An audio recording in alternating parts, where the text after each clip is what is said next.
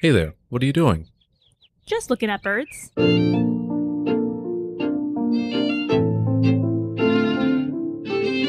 Welcome. I'm your host, Chris. Join me as I interview avid birders to learn more about birds, birding, and those who love both.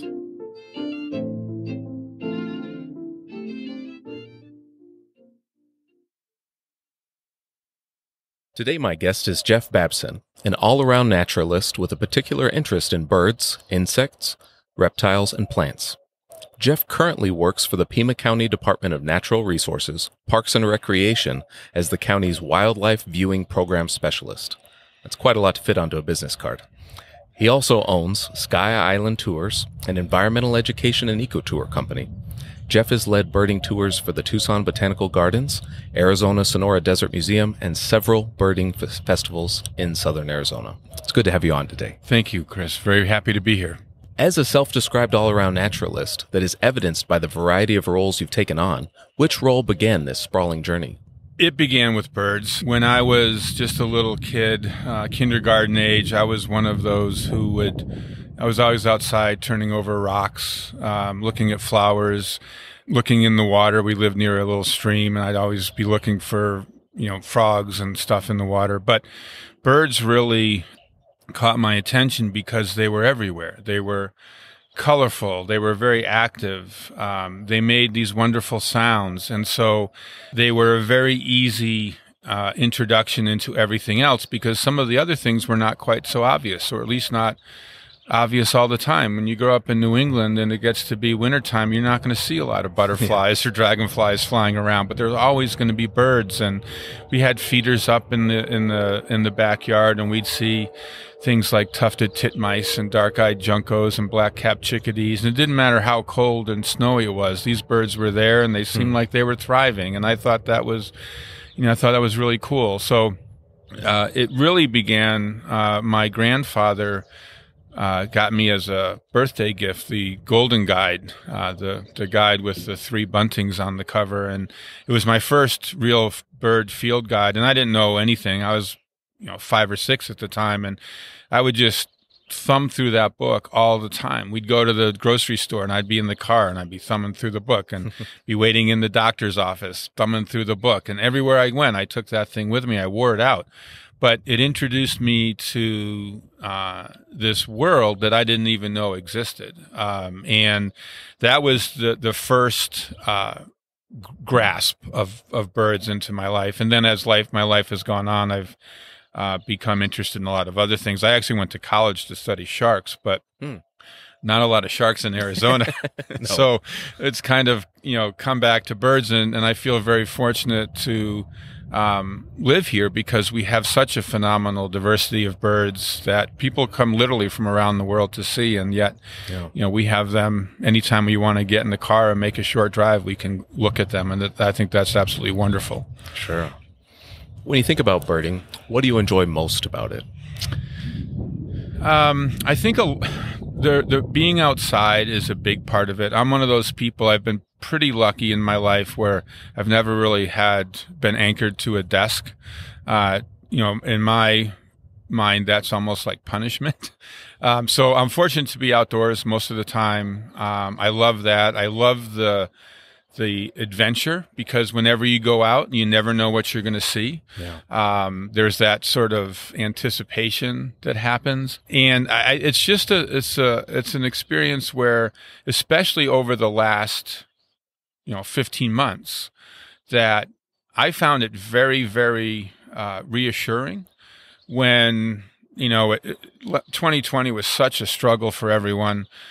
I could go outside, you know, walk around my backyard or walk down the street and be out in the desert and look at and look at birds and it seemed like everything was going to be all right at some level. We, yeah. we had some some difficulties to get through, but uh, I, I, thought it was for me last year um, being having the opportunity to go out a lot was was was good for the soul, and I think it's I think that's part of it for a lot of folks that that you know they have high pressure jobs or maybe they have a job where they are inside a lot and this gives them a chance to sort of recharge their batteries because we need we absolutely need the natural world out there and yeah. we are a part of it and having the opportunity to go out, you know, whether it's once a week or once a day, you know, it, it gives us a chance to, you know, sort of get back in touch with the natural world and forget, you know, a lot of the issues that are going on, you know, with your work or your, you know, anything and, and get out and, and sort of get free from that. So yeah. it's kind of a combination of those things. Um, plus the birds are just so darn cool that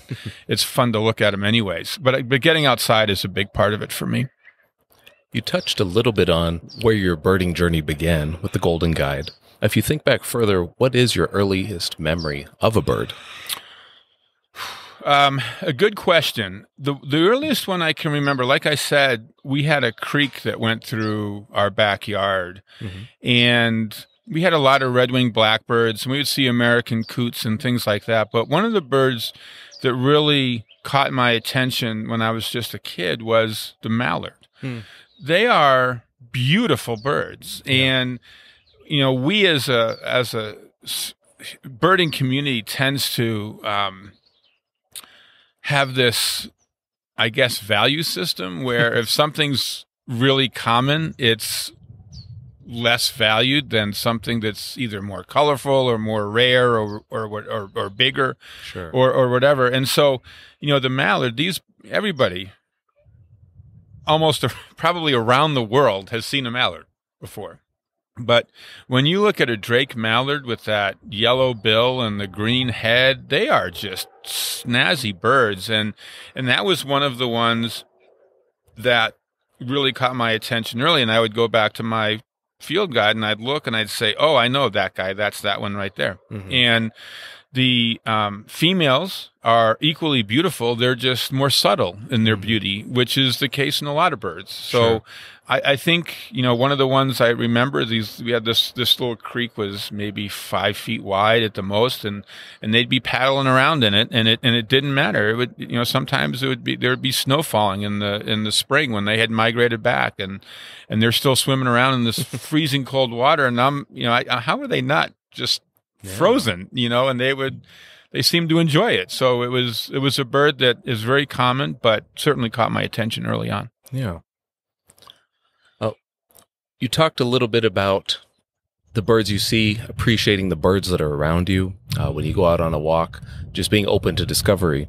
But do you have a bird that you're thinking about that you would like to see next? Where when you go out, you wonder, you know what, I'd like to see this bird?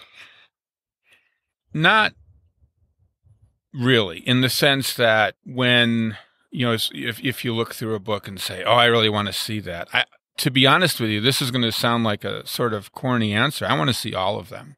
Hmm. I know that's an unattainable goal, but I do want to see all of them. At the same time, I don't want to um, sort of forget about the birds that I see every day either. Yeah. And so I don't really, I don't keep a life list. I don't say I'm not a chaser where if a rarity shows up somewhere, I don't get in my car immediately and drive to the spot to try to yeah. find it. That's not how I personally like to approach it. There's a lot of people who do it that way, and that's perfectly fine. It's just not how I would like to approach it. Yeah. And so for me, there, there's not like a species that that uh, I have in in mind, but whatever the next bird is would be fine with me. And that I don't know if that necessarily was where you thought the question would go. I mean, they're they're all great. Um, there's birds all around the world that are absolutely knock your socks off, beautiful, or have these really interesting behaviors, or again, their rarity or their localized distribution. But we have all that here too, and uh, I think for me, because of the way I approach birding, I don't I don't really think of it that way. I think yeah. it more of um, let's just go out and see what we can see today, and whatever we see is going to be great. It's a good way to look at it. I do agree that question is kind of biased towards maybe a lister, but no, it's. I mean, it's a it's perfectly legitimate question, but, but the, the, the, it would be hard if I if I were to think. I'd think I'd say, oh, there's that one. Yeah, that'd be really cool to see. Oh, so would this one. And then that, oh, now, now I'm back to, you know, and pretty soon it would be all the birds out there again. So I, I just, like all of them. I'm one of those that would be perfectly happy watching house sparrows Yeah. all day because they they do interesting things, you know, and they're very approachable. So I don't have a particular species that I, that I really want to see next. They're all good to me. That's fair. When you think about those that are new to birding, what would be a piece of advice you might share with those people? There's a couple of things. Uh, number one is focus.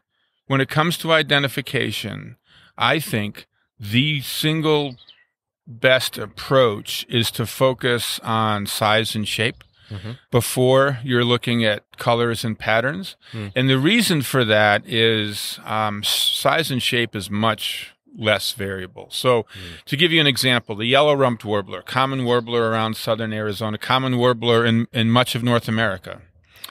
Uh, you have the breeding male plumage, you have the breeding female plumage, you have the winter adult male plumage, you have the winter adult female plumage, then you have the immature males and the immature females. So that's six different plumages for one species of bird, and we have however many, you know, 900, almost 900 in North America, and they don't all show that variation.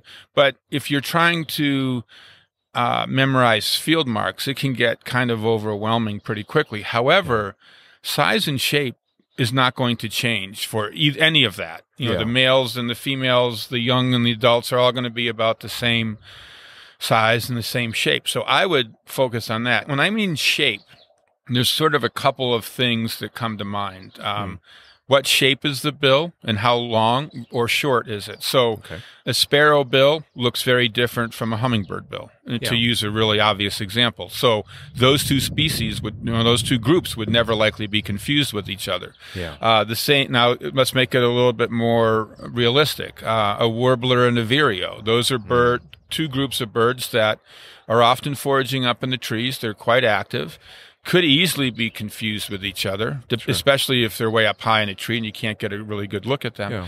But if you do get a good look, the vireo bill is very different from the, the warbler bill. Warbler bill is like a fine pair of tweezers. Mhm. Whereas if you look at the vireo bill, if you took like a jay's bill, a Mhm. Mexican jay, and shrunk it, that's what it looks like. So, the, you know, so the size and, and length or shortness of the bill, the length of the tail, short versus long, and by that it's it's kind of a relativity thing. So.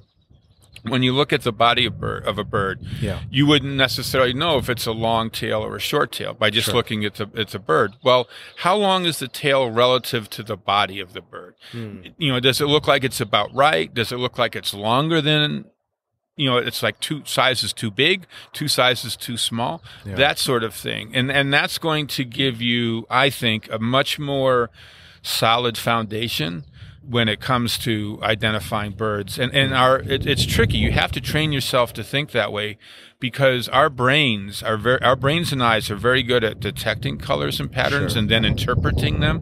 So you kind of have to put your brain, you know, on pause for a second while you're studying the size and shape. And then once you have a pretty good idea, hopefully you'll have a pretty good idea what group it goes to, then is when you look at the colors and patterns because that will usually help you to um, figure out which species it is you're actually looking at. So it's kind of the, I think it's sort of a reverse approach than, than what a lot of people think or what a lot of people try to do when they're first starting. Sure. And then also enjoy it. It's fun, but be in the moment. When you have a bird in front of you, take in all that that bird is offering you. To me, when you have a mystery bird show up and you're not sure what it is, it's kind of to me like an episode of CSI in that all of the evidence is there for us to identify it. We Yeah. just have to figure out what's important evidence and what is a red herring. yeah. And so by studying the birds, by studying where they are, what they're doing, are they on the ground? Are they up in the trees? Are they staying relatively still? Or Are they moving around a lot? Time of year.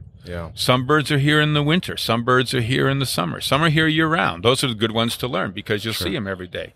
Um, the habitat you're in, uh, if they're making sounds, um, all of that's evidence to help you arrive in identification. And when you've been doing it for a while, a bird will fly by, and and most people have probably experienced this, where they're on a, a bird walk with someone, and the bird flies by across the trail or whatever. You're not even sure it was a bird, maybe because it was Yeah, so fast. Fast. And then the the leader will say, "Oh, that was a so and so," and you might be like, how the heck did he or she know that was what that was? Well, they're taking its probability for where they are, the time of year, and then a quick assessment of the size and shape of that thing. Hmm. Now, are they correct? Maybe, Yeah. maybe not, but more than likely, with experience, they're going to be pretty Pretty dead close. on. Yeah. Outside of field guides and apps, what is something that you've purchased for less than $100 that has had the largest impact on your birding experience? There's again a couple of things. One of them is free, and there's two books that that I think are very very useful for learning kind of what to look for Mm. when you're trying to identify them. And one is the um, Field Guide to Advanced Birding by Kenn Kaufman. Okay. And I think, and I've actually had the pleasure of being out with Kenn before, and I actually mentioned to him that this would be a textbook for birding. And, and you could take the word advanced out of the title. Yeah. The second half of the book does go into some of the more tricky species pairs to tell apart, but Oh. the first part of the book has loads of information that every birder should read, like the first roughly 100 pages. So that book is fantastic. Another book that came out four or five years ago, it's in the Peterson Reference Guide series. Okay. Uh, it's Birding by Impression Hmm. by Kevin Carlson and Dale Rosselet uh, from New Jersey.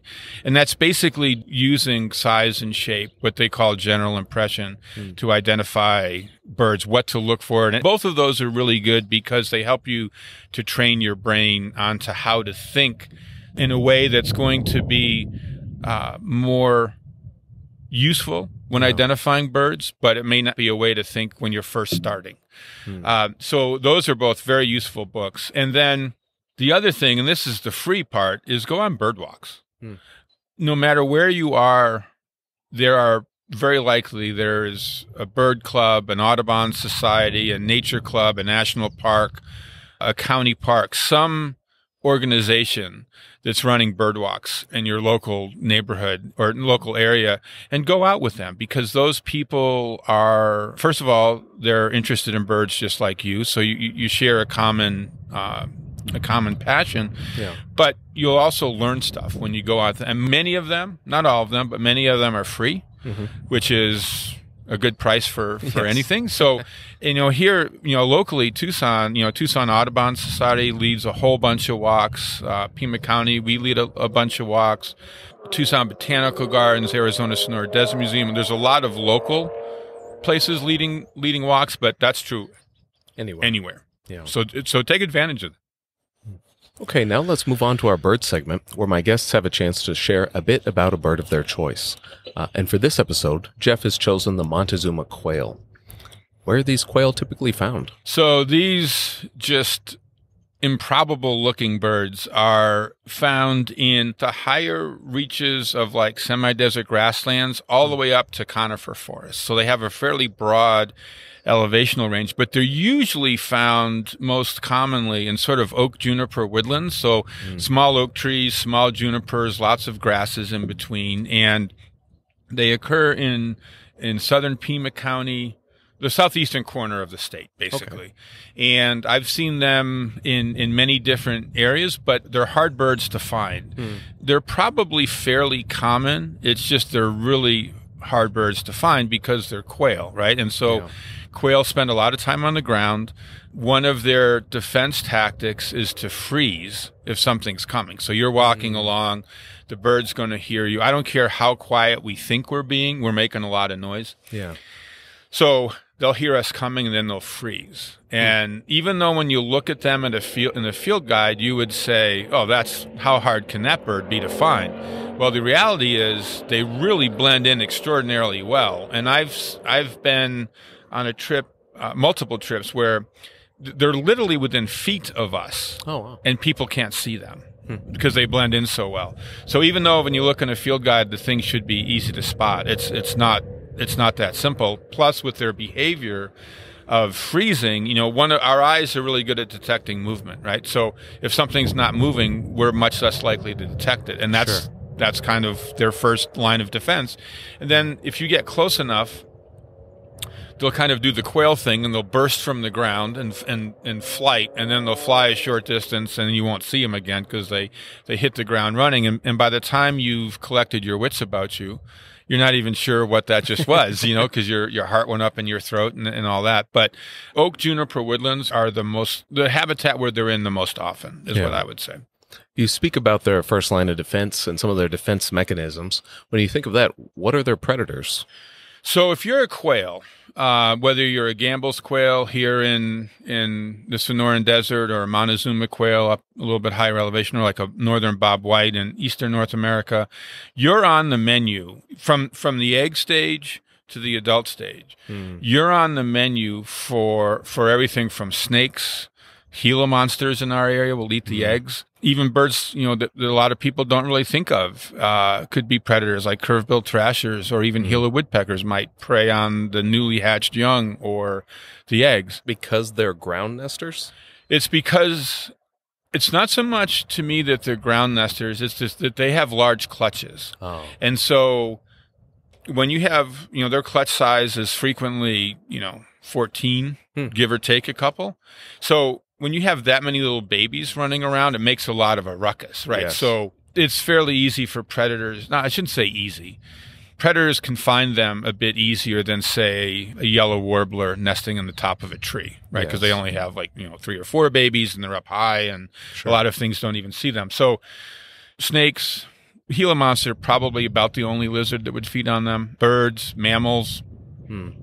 raccoons, skunks, coatis, bobcats, coyotes. And that's actually the reason why quail have so many young. Hmm. They have so many predators that out of that group of, you know, 12 or 14, maybe one or two of them might make it to adulthood. Oh, wow. And so that's sort of their evolutionary adaptation to high predation pressure. So we're in that category as well. They're, they're both, you know, many quail are hunted. Um, or they're game birds, and so, you know, we're we're a predator as well. Never mind our cars and stuff. I mean, Montezuma quail don't get hit by cars very often because there aren't many roads, but you know, Gambel's quail certainly do. Uh, and so they're they're fed on by a lot of things. You talked about how they might freeze when they detect movement, how they're often hidden behind tall grass. If I wanted to approach one for a better look, and if I knew that uh, this area had them, Mhm. What would be the best way to do so? move very stealthily, you know, no quick movements, almost I don't want to say robotic, but Yeah. sort of, you know, slow and quiet. You don't want to cross that fateful step Hmm. where everything's fine until they all decide they've flown away. Yeah. So a good way to photograph quail is to if you see them take a picture from where you are, hmm take a couple steps forward. If they're still there, take another picture. Yeah. And sometimes you can get really close to them. I mean, like I said, I've been within five feet of them and they Mhm. just, they're not moving. yeah. And it's, it's kind of a, a strange thing. And it, it seems like there's two different things going on at once in the sense that they freeze, but then they're going to move. And yet, you know, when are they going to move? Because you can get really close to them. Another thing you can do is if, and it's not uncommon to see Montezuma quail crossing quiet roads. Hmm. Yet use your vehicle as a blind. Wildlife in general doesn't perceive vehicles as threats, but if we're out there walking, Yeah. they're going to be more likely to get away from us at a further distance. If that opportunity presents itself, that's another way you could do it. But I think slow, quiet, restrained motion will allow you to get pretty close to them. And like I said, their their natural defense is to freeze. Yeah. And so they don't want to really move either. But mm. the, the trick is knowing how close you can get without going that one step too far when they do leave. That's why I like to take a photo, move a couple, take a photo, move a couple, because at least you can get some some really good images that way. Yeah. And if you're really lucky, the birds will stay right there and As you you get, get closer. a, you get a um, frame filling image of a of a quail, and that would just be fantastic. You know, and then that's true for a lot of uh, birds the, the, that approach. And if you have a lens, if you have a, a zoom lens, you can obviously get really nice images from a, from further away. sure. But like with a point and shoot, that's the method I would use. Yeah. We've mentioned a few of the Montezuma quail's predators, but what do they eat? So Montezuma quail, they have a little bit of a dietary shift um, from the dry season like we're getting into now as opposed to the wet season. So throughout the year, they'll feed on seeds, fruits, small arthropods, small insects, small spiders, things of that nature, very much like a Gambel's quail would. Mm.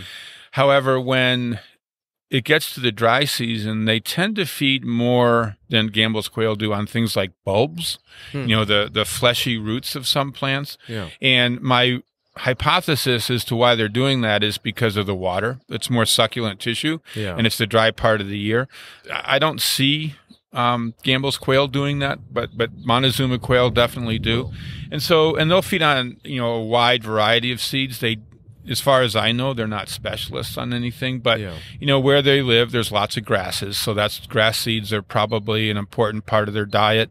Uh, the annuals, the you know the spring annuals, if there's been sufficient rainfall, that'll be another uh, key part of their diet. And then once you know when the young have hatched and they're starting to run around, then they're probably feeding uh, more on insects at that time just because of the proteins and yeah. uh, other nutrients in, in insects that aren't as readily available in seeds. So if you're trying to grow new tissue and get bigger, that's a better food source. Helpful. Similar in many ways to a Gambel's quail. You know, the, you know, the plant species are probably different, but in general, it's pretty similar. Yeah.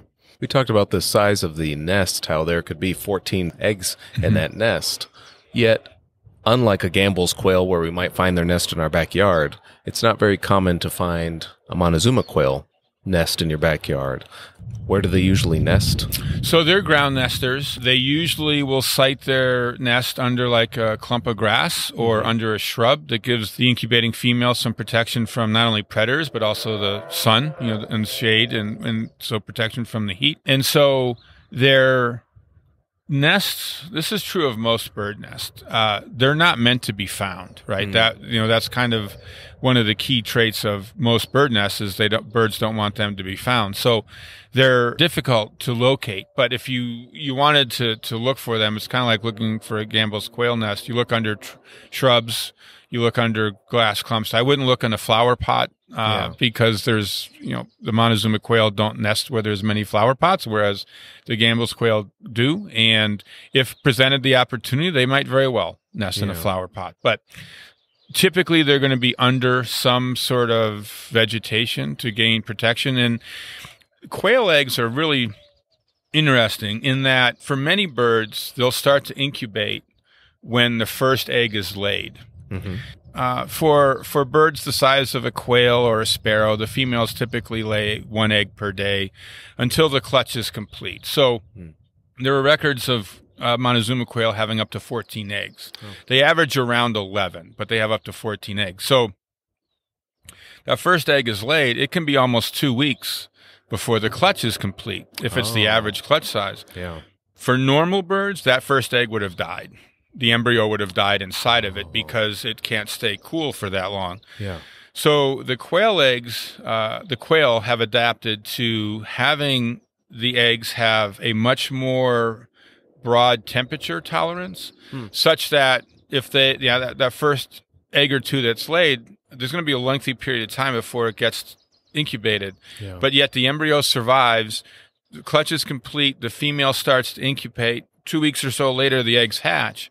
And that's where it becomes important for that egg laying strategy, mm. or I should say egg incubation strategy. And that is because just like Gambel's quail, all the, la- all the nestlings, they come out of the nest on the same, you know, usually within a fairly short period of time, and they yeah. all leave the nest together, never to come back. Whereas if if the female quail were to incubate starting with the first egg, mm-hmm. by the time the last egg is laid, it still has two weeks of incubation and you're going to have babies of all these different ages coming back to the nest and they, they would just get picked off left and right. Mm. So it's a trait that quail have that most birds don't have. I'm, I'm, sure there's many other birds, like especially in that group of what we call the game birds or the gallinaceous birds, so quail, pheasants, partridges, things of that nature. Okay. That are all kind of in the same boat. Pheasants are a little bit different just because of their size. They're a yeah. little bit bigger birds, but uh, you know things like partridges and ptarmigan, um, they they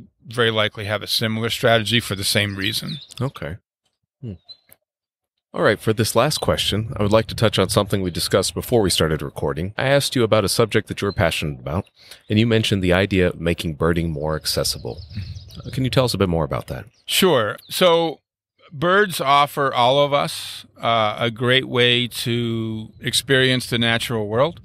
And in my view, birds are for everyone. And it, it should not matter where you live, your, your interests.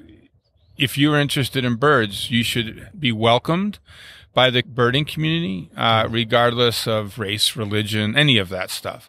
And so, what has sort of been an, uh, not an issue, but a, a concern of mine is that, you know, I've been leading bird tours for 20 years, and for the most part, the people who come on the birding walks are people who look like me. You know, I'm a Caucasian male in, in my 50s, but yet we know that there's, you know, especially like if you live in Tucson, any community, very diverse, you know, Yeah. as far as all kinds of things. And none of the other aspects of your life should matter. You should be interested in birds. And there's kind of three different, I think, audiences that the birding community is trying to reach, but could do a better job. Hmm. One is the youth. Yeah. Um, young birders are the future of birding, and many of them are phenomenally talented. And you know, they have those young eyes, they have those young ears.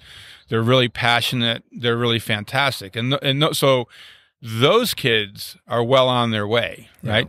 But what about the kids who are in the same classrooms that they are that you know may be interested in birds, but maybe you know their family is not interested in the natural world, or maybe they don't have the financial resources to purchase a pair of binoculars, or you know maybe they can't drive to the local national park to see birds because the public transportation doesn't go there.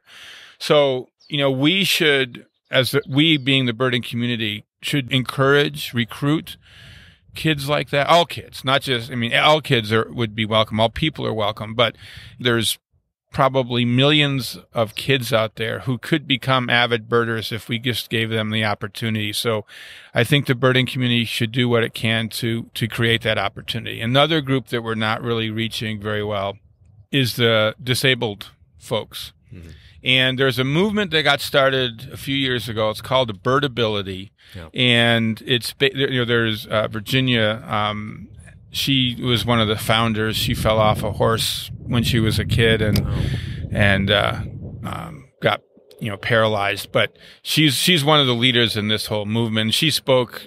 Uh, I know at Tucson Audubon they had a, a talk. These are f- folks that they may not be able to hike up a mountainside, but we can go to parks that have maybe paved or groomed trails that they can go out and be out in nature and, and looking at birds. And, and I've started to do some programs over the last uh, couple of months that we're going to continue that's basically focused on trying to recruit people who are new to birding, Hmm. regardless of anything else. If you can get to the park, we're going to go look at birds. And, and there's another sort of aspect to that, and that's another movement called slow birding Okay.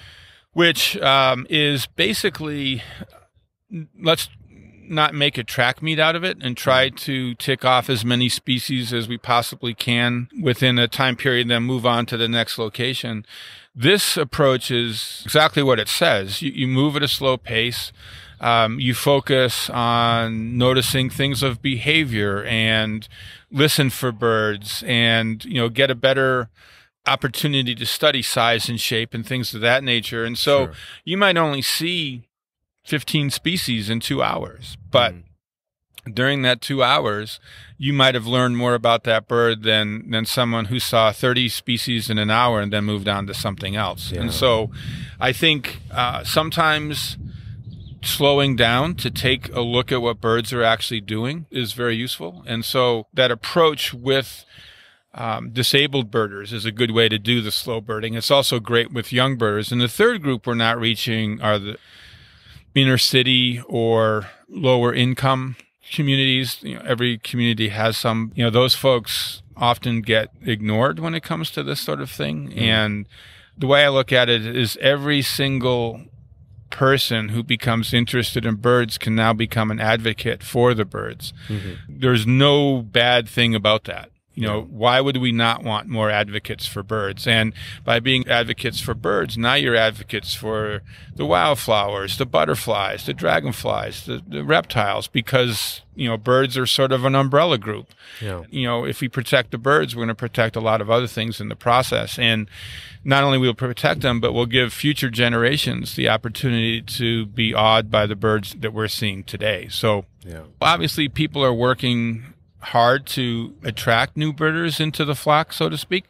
But we could do better, I think, and um, and it's a thing that any of us could do. You don't have to be any leader or even a member of an organization. If you have someone who maybe it's your child or grandchild, maybe it's a neighbor, maybe if you work at a school, maybe it's one of your students who's who seems to have a particular interest in birds, then you can become the mentor. You can take anybody out to your local patch, wherever that is, and you can introduce those folks to the world of birds and have them the opportunity to share in what you love so much. And yeah. and and the reality is is some people may go out once or twice and decide that you know maybe they don't like birds. That's fine. I mean, but we don't know until we give them the opportunity to do so. And and I think we could all do a better job of that. So, aside from more focused efforts into birdability or into slow birding, it's as simple as just pointing out some of these birds when mm-hmm. we're with yeah. other people. Absolutely. Who may not be as interested in birds as us, but just giving them that opportunity. Correct. You could be, you know, talking to your neighbor at the mailbox and he, see a northern cardinal. Oh, there's a northern cardinal. Yeah. Oh, I didn't know you. I mean, and that that simple interaction could be a starting point. You just never know. And and and so that that's the thing every single one of us can do. Yeah. Uh, you don't need to be any quote unquote expert. I, I personally, I, I, kind of have a hard time with that term because. Mm-hmm. Sure, some people know more about birds than others, but any of us truly experts? I mean, every yeah. the people who I think the, the new birders or maybe the intermediate birders are calling experts, I think most of them would say, if you ask them, they would say they still have so much to learn about yeah. birds. So, well, I can see it from you know from one standpoint. Uh, a lot of the, the, the leaders and uh, the authors of these field guides and stuff. I think if you talk to them, they would say that they still have a lot to learn. You know, they may yeah. learn uh, know more than you, but they still have a lot to learn. So um, it's just getting out there, and if you have someone that you think might be interested just ask them if they want to go look at birds and you could just walk down the street. You don't have to go anywhere. Birds yeah. are everywhere. You don't have to go anywhere special. Just look at the bird. Have her come to have the person come to your house. Yeah. If you have feeders up and just sit in the backyard and watch the birds, it doesn't have to be anything fancy. You just have to start the process, and hopefully, you know, you will recruit a new birder to the to the fold, and and that'll be great for the birds. So yes, it's easy. All right, I'd like to thank Jeff for joining us today. I'd like to thank you for listening to this podcast. If you enjoyed the podcast, please follow or subscribe on Spotify, Apple Podcasts, or wherever you are listening to this episode from. While you're there, I would appreciate it if you left a rating or review to help more people discover the podcast. You can visit lookingatbirds.com for show notes, a transcript of the episode, and pictures of the Montezuma quail, along with some of the other birds that we talked about today. Until next time, keep looking at birds.